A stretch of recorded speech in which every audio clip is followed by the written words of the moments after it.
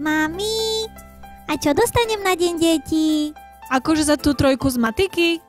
Mm, kalkulačku. Mami, ale to sa netýka známok. Všetky niečo dostanú. Aj Steven dostane tablet. A čo som dostala ja na deň matiek? Kvetinku a čokoládku. A ja? Na deň otcov? Minulý rok čo? No nič. Zabudli ste. A ja čo dostanem na MDD? Veď si tu minule machroval, že si už dospelý, tak aké MDD? Veľmi vtipné, ha, ha, ha. Nepapuluj. Urobíme to takto. No? Čo, mami? Žiadne tablety, žiadne veľké dary. Urobíme si detské hody. Čo? V nedeľu pôjdeme do Slovak Pointu.